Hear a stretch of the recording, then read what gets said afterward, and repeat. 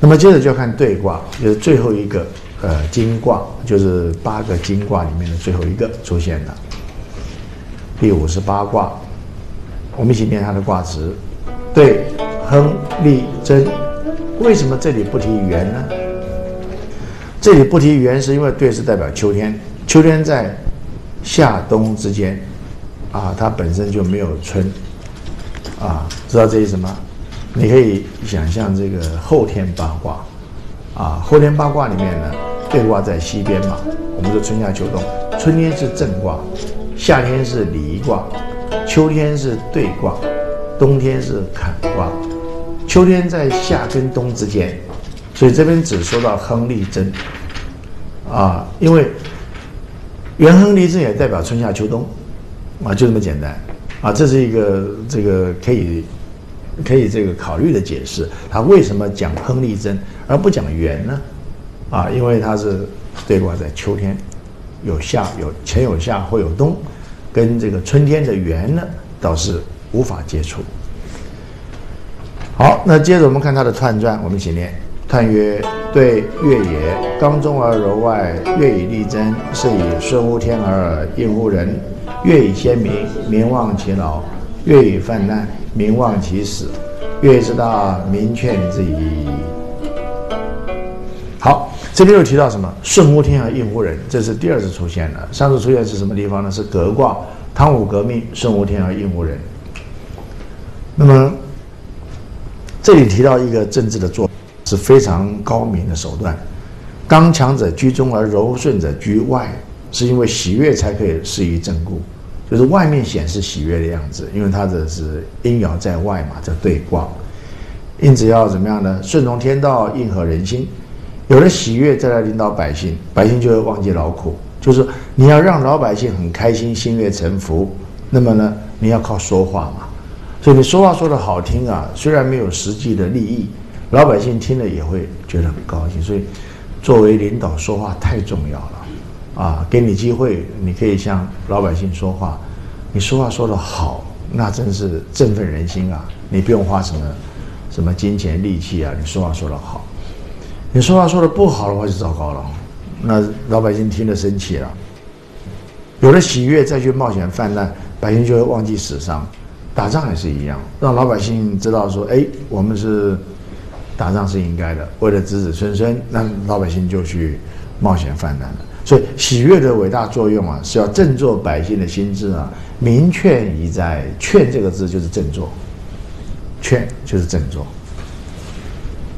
庄子里面有一段话，在他的这个，呃，这个《逍遥游》后面就出现了。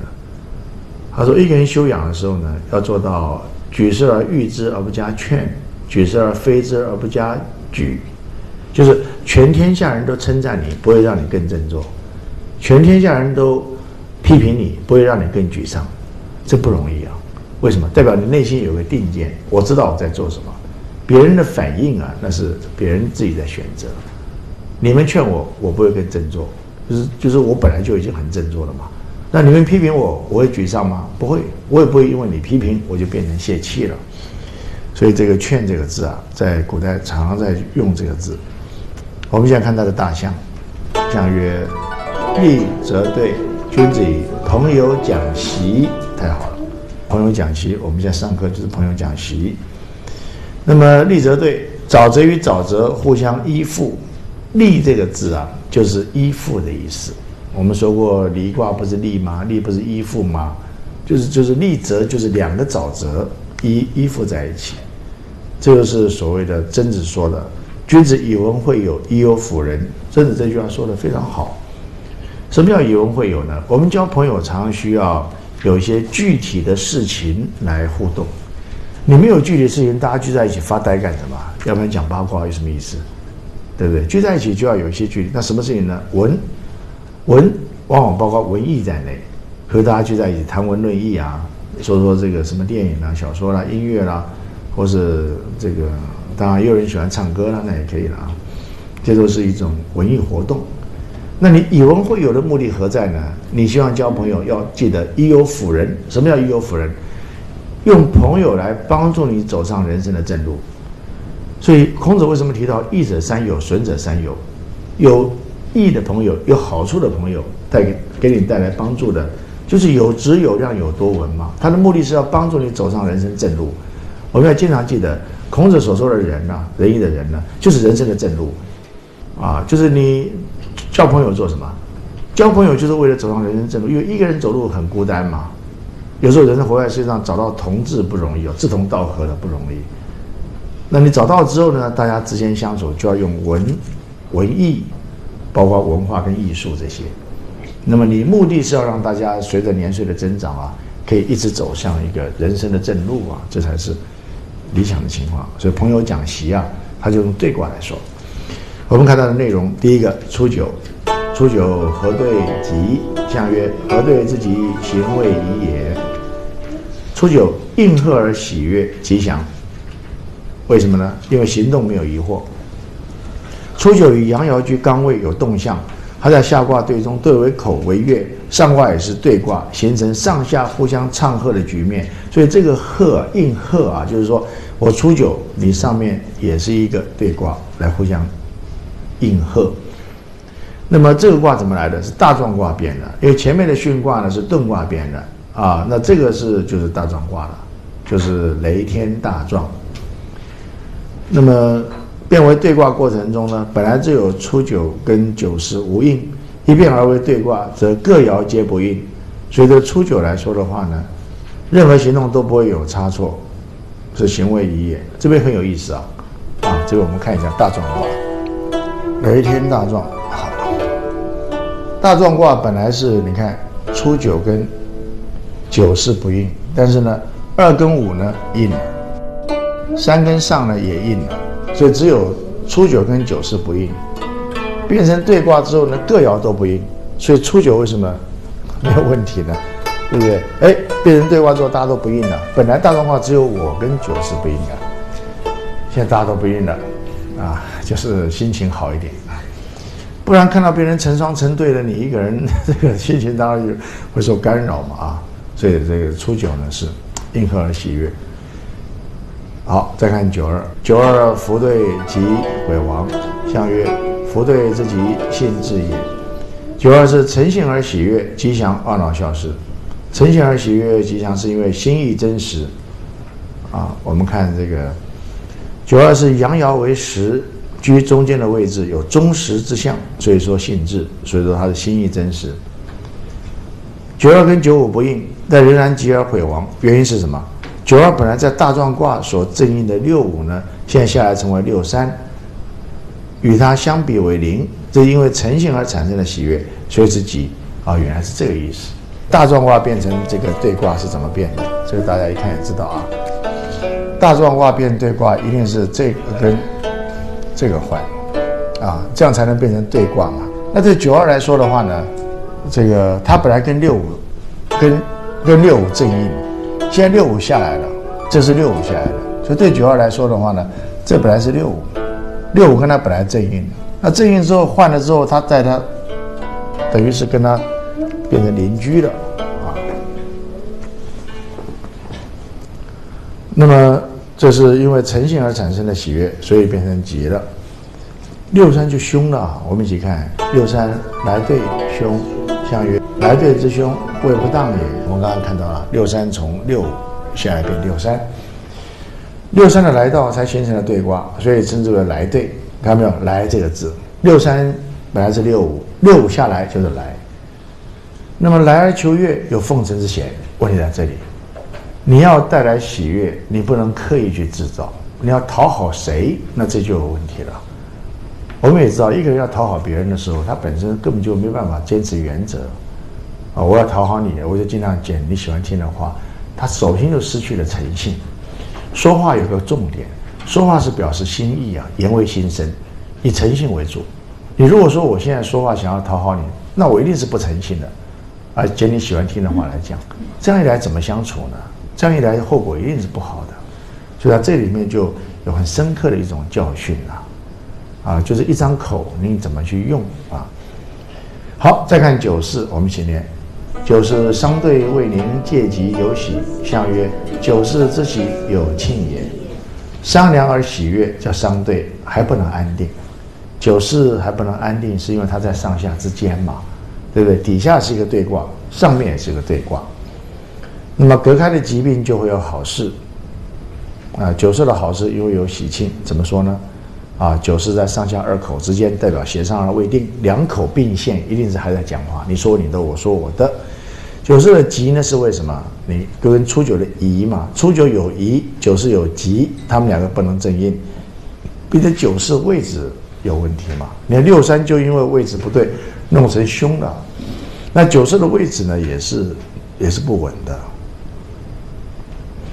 那么隔开就就就怎么样？喜跟吉并用，专指并育的好事。九四之幸啊，还在于它处于互巽里面。六三九四九五之中，原因在这里。所以它这边变成是隔开疾病就有喜庆，吉是因为它跟初九的宜，初九有宜，九是有吉，两个不正印了，但是各爻皆无正印啊，所以这个宜啊很容易就被化解掉了。隔开疾病就有喜庆，啊，我第一次这个占卦的时候呢，正在教学生就占一卦，当时禽流感很严重啊，同学们都很关心说禽流感这么严重怎么办？就占到这个 隔开疾病就有喜庆。禽流感你没有办法预防，你只能隔开嘛，让你这个避开那些呃呃飞禽啊，或者你去很多地方都要避开这种鸟类或者鸡鸭这些。所以当时虽然说登这个是禽流感怎么办，他就来一个隔开疾病就有喜庆，啊，所以当时大家都觉得这占卦实在是很神奇的啊，他跟你问的问题就可以配合。后来我特别写篇文章，因为我整个查了一下，易经有三百八十四爻。跟那个疾病有关的大概只有七八个爻提到疾病，啊，然后只有这个爻最适合这个禽流感。换句话说，你不用占卦，你自己翻易经，翻了半天，哎，这个很适合。那你占卦占出来也是这个，他有时候就这么巧，啊，就是你你自己找都不见得找得到，他给你一猜就占出来了。好，我们一起看这个九五怎么说，一起念：九五浮于波，有利。相曰：浮于波，未正当也。你看九五未正当啊，那么六三位置不正当，那那九五为什么还是有利呢？有危险呢？受到衰退的人的信赖有危险。波是指上六而言啊，它浮于波嘛，它被上六所信赖。上六是全卦最终的位置，下临两个阳爻的进逼，有如被波时的衰退之人，就有点像怪卦那上面的上六嘛。怪卦是底下五个阳爻往上逼啊。那么在大壮卦里面，上六有九三正印，在对卦里面九三变成九五，所以九五对上六是浮于波。他们两个本来是这个正印嘛，现在是三跟五化，我还记得吗？在这个九二的时候呢，哎，看到六三不错，他以前是六五嘛，跟我九二正印，现在跑下来跟我这个做邻居了。那现在这个九五呢，九五本来是九三啊，九三跟上六正印啊，那现在跑了一遍九五之后，跟上六变邻居了。所以它变成是受到上六的信赖，是这个意思。好，最后看看怎么结束呢？呃，上六是主爻的，我们先念上六引对，相曰：上六引对，未光也。上六是牵引而喜悦，因为自己的路不宽广，他以阴爻居柔位，实力有所不足，又在对卦最终的位置，喜悦已经接近尾声，所以上六要怎么样？要靠牵引，由九五而得到喜悦。上六只能靠九五嘛，因为他们在大壮卦里面本来是上六跟九三嘛，那现在九三变成九五，所以上六跟他就是牵引过来了，所以这就是因而得到喜悦。所以我我现在讲这些什么变啊，怎么呃转过来的，同学们都可以听得懂，代表你们的呃这个程度功力啊已经是不错了啊。你要是没有上这些课，你说什么九三变九五，马上头都昏了。什么九三，什么九五，我就不知道在说什么。这就是一种这个学习。为什么说不学一定不会？原因就在这里。啊，那学了不一定会。这个因为占卦确实解卦是不容易。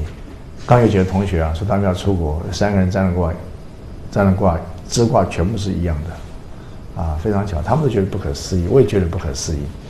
这个三个人要出国。占的卦不一样哦，但是支卦变出来全部是虚卦，通通一样。啊，必须去同个地方嘛，是不是？啊，所以有时候你说很多人问一个问题，答案会不会一样？当然不一样。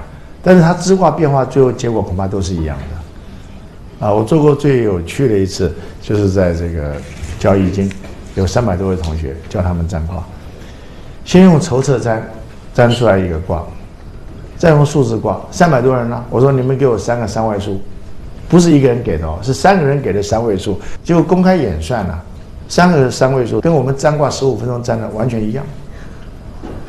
当时大家都觉得有点恐怖啊，因为这种太神奇了嘛，对不对？你用筹策粘粘了十五分钟啊，大家头都快昏了。这个七八呃九啊六啊出来了一个卦，然后三个三位数，三个人喊出来不一样的地方喊出来的，一算完全一样，连变爻都一样啊。所以像这个就是我们有时候感觉到祖先的智慧啊，真是伟大。我们上这个课没有任何神秘的地方。我也没有跟你说，你这个卦要解说，哎，这个是很复杂，是不是？也没这么复杂。你看到什么，跟我看到什么是一样的，是不是？只不过说你理解的时候，是不是？呃，不要太主观，因为我看同学们很多时候占卦之后要解卦，他有时候都会先心里面希望有一个答案，你这一主观，你就不容易看得清楚啊。那你问我为什么觉得我好像讲的比较清楚？因为我没有成见啊。对不对？我只看你这个学术上有什么答案出来，你个人有什么遭遇？说实在，我无法关心，也不可能关心，是不是？我只告诉你事实上是什么样的情况。那有时候讲的不见得正确，因为只有你自己最知道你在问什么问题啊。所以这个时候你就听我讲完毕之后，书上你就自己慢慢看。其实你们讲完毕之后，你说你不会解，你都会解，只是说你没有愿意。花时间在这个书本上字字这个字里行间去寻找那个他的他的这个这个是教训而已，所以这是一个习惯啊。所以有时候你替别人解恐怕都比较会解，你替自己解，心里面有固定的一种愿望嘛，所以反而被遮蔽了。